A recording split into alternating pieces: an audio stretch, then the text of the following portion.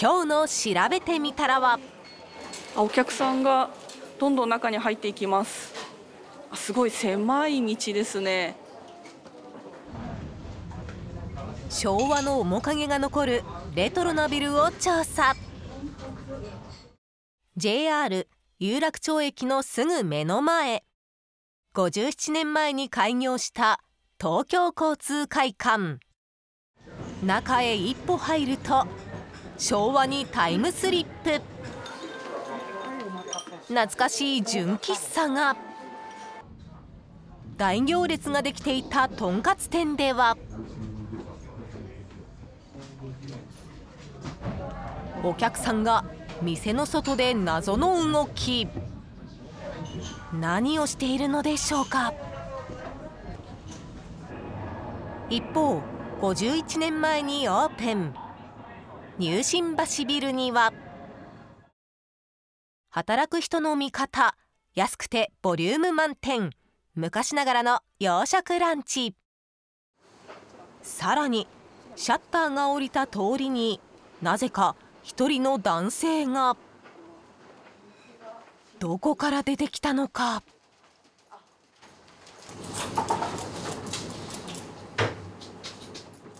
50年以上も通い続ける人もいるディープなスポット。ということで今回はディープな世界が広がるレトロなビルの魅力を調べてみました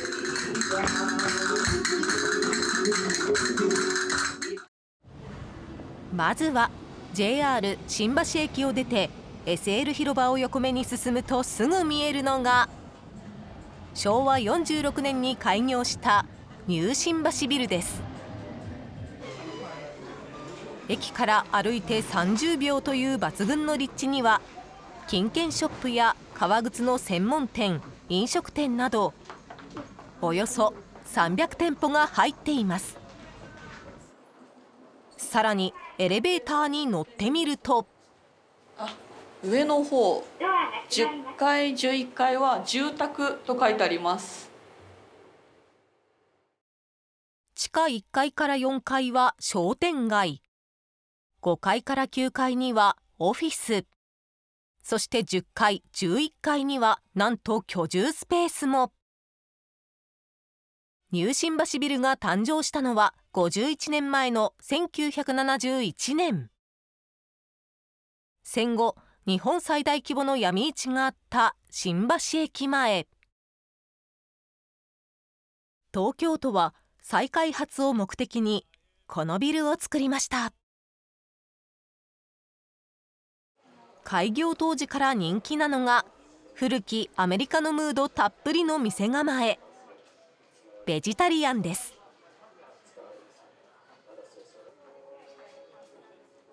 キウイやメロンなどのフルーツや野菜をたっぷり使ったジュースが40種類ほど並びます。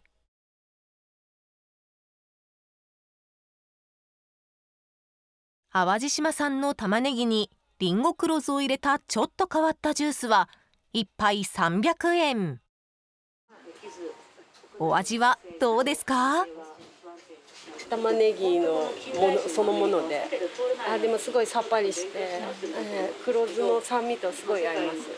辛くは？あ全然なくて飲みやすいですね、はい、さらに1階を探検しているとおすすめのお店を教えてくれました。やっぱりここで言えばね武蔵屋さんとかもそうだしこっちかこっちはね。これあれ並んでます？そう並んでますよ。教えてくれた場所に行ってみると。あお客さんがお店の外まで並んでいます。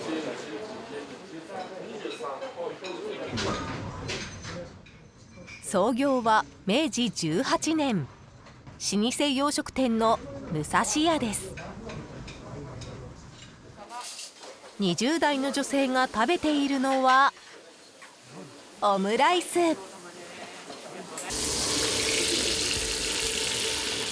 溶かしたバターに卵を流し込んだらこれまたバターで炒めたチキンライスを入れて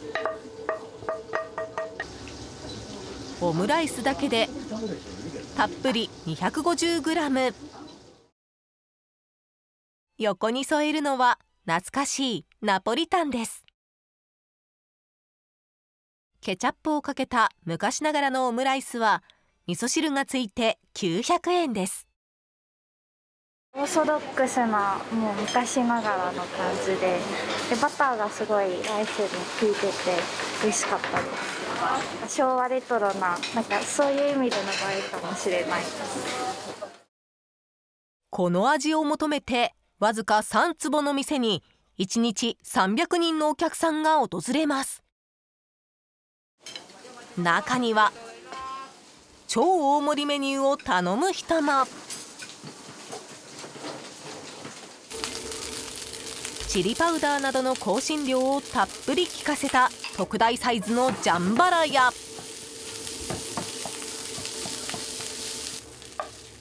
1200円です。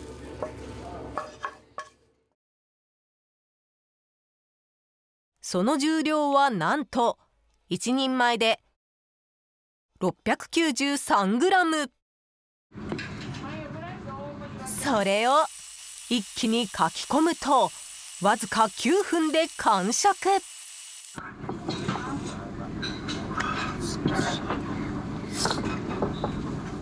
結構スパイシーであの夏暑い日でも結構食欲進むんで。よく食べてます。結構汗が。そうですね。結構かっこんなんで。お昼ごろ今度は地下1階に降りてみるとここでも行列を発見。レトロな雰囲気のお店で皆さんが食べているのは目の細かいパン粉を薄くつけた牛ロース肉を。210度の油で揚げることわずか30秒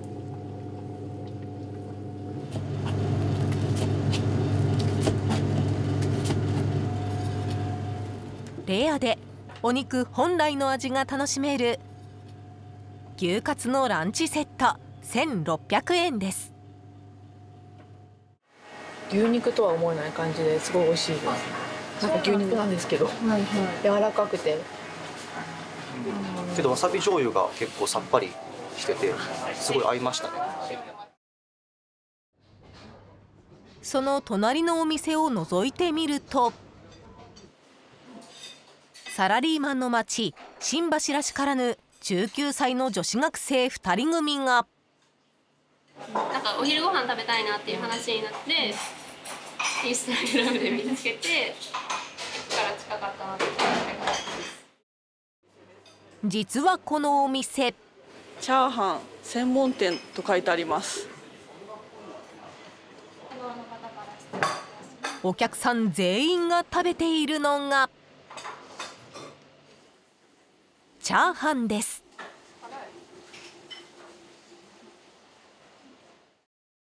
さあメニューは超強気。チャーハン一つのみ。鶏のスープがついて1000円です。だから専門店でしょチャーハン以外ないでしょ、まあ、これで勝負してるわけだ間違いないですあ間違いない。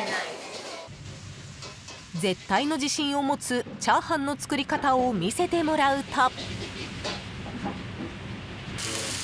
取り出したのは黒毛和牛や野菜調味料などを独自に凝縮したこだわりのオリジナルペースト。それをお米一粒一粒にまとわせたら完成です。お好みで特製ラー油をかけると刺激的な辛さも楽しめます。今度は2階に行ってみましょう。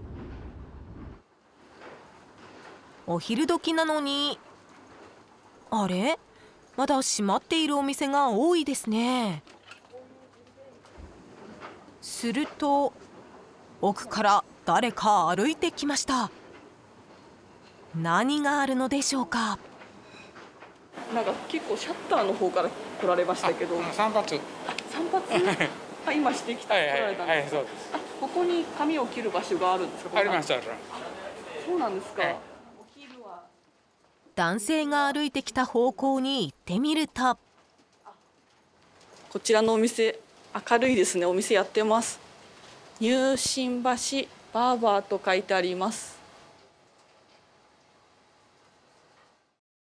赤青白のサインポールが目印入り口からは想像つかない広さ。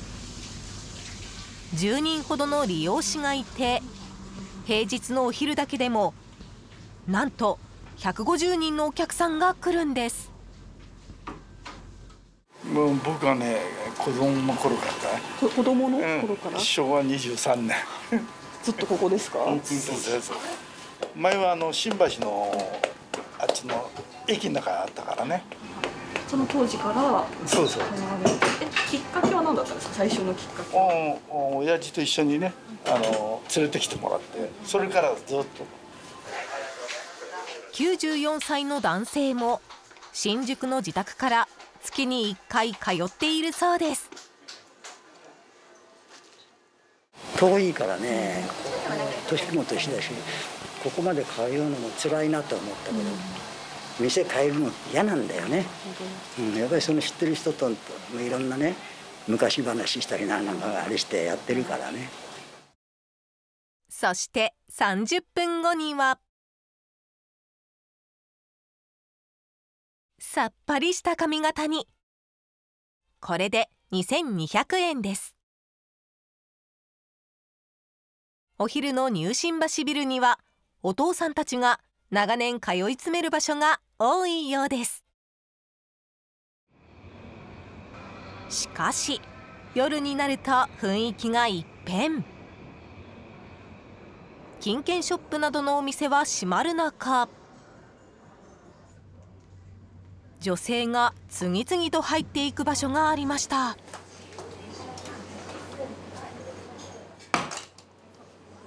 近づいてみるとなんか部屋の中から足音のような音が聞こえます。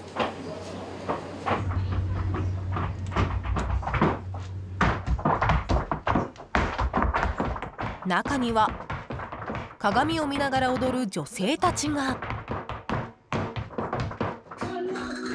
フラメンコ教室です。18畳ほどの狭いスペースで情熱的なダンス。生徒は近くで働く女性が中心ですが中には千葉県から通う人もいるそうです。入信橋ビルは身も心もリフレッシュできる魅力にあふれていました。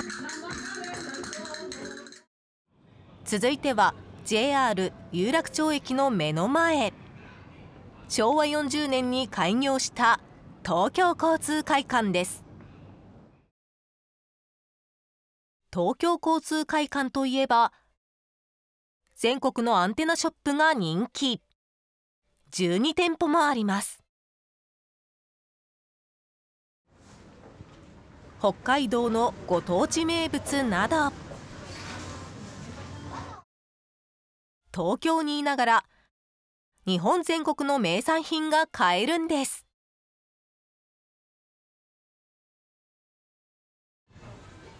さらにお土産以外にも。沖縄そばの専門店では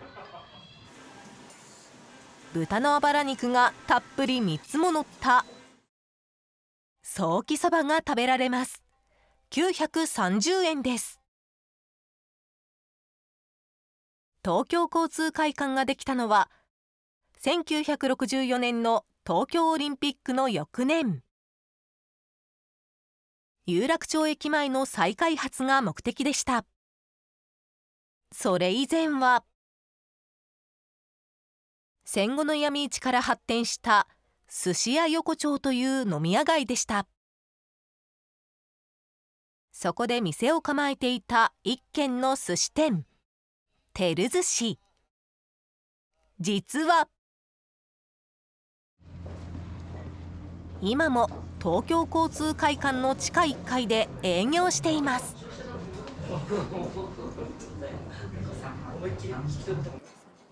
店を切り盛りするのは2代目の加賀達夫さん。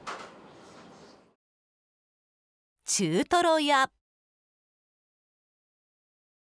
小肌など。その日に大将が厳選したネタが9貫4180円。贅沢な味わいです。やっぱり江戸前のあの伝伝統的な赤酢のシャリ？やっぱり美味しいですよね、うん、シャリは赤酢と塩のみ。砂糖は一切使っていない。江戸前寿司です。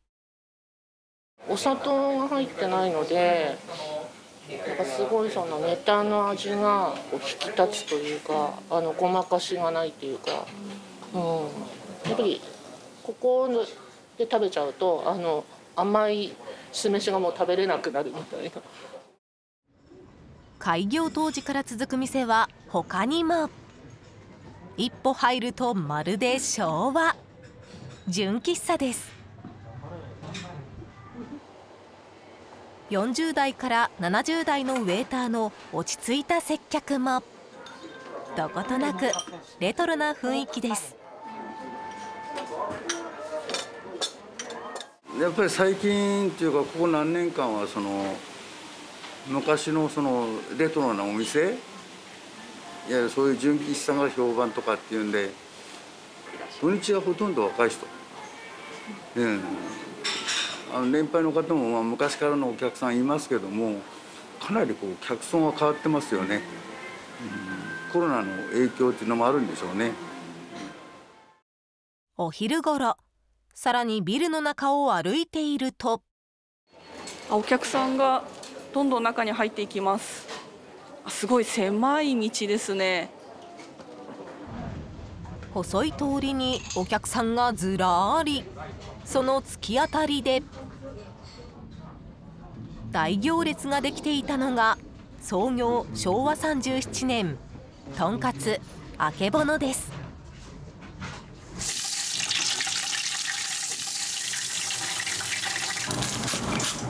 カリカリに揚げたカツを甘めの割り下で煮て最後に溶き卵でとじれば昔ながらの優しい味わいのカツ丼が完成。1000円です。カウンターのみの10席でお昼時はいつも満席。人気は名物のカツ丼やボリューム満点の大きなとんかつです。しかしこの店よく見ると不思議なことが。帽子をかぶったお客さんに注目。席に着いたのにメニューを見るどころか注文をする様子もありません。それなのに1分40秒後。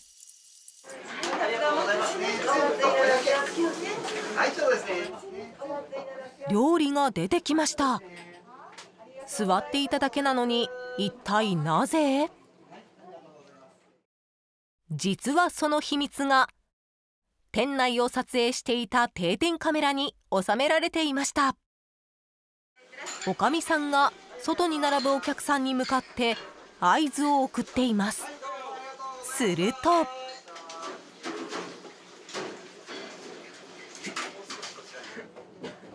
書かれていたのはホワイトボードにご注文どうぞの文字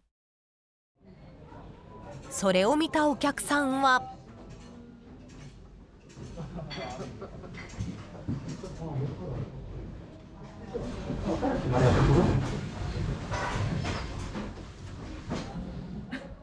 ちょっと戸惑いながらボードにカツ丼2人前と書いておかみさんへ。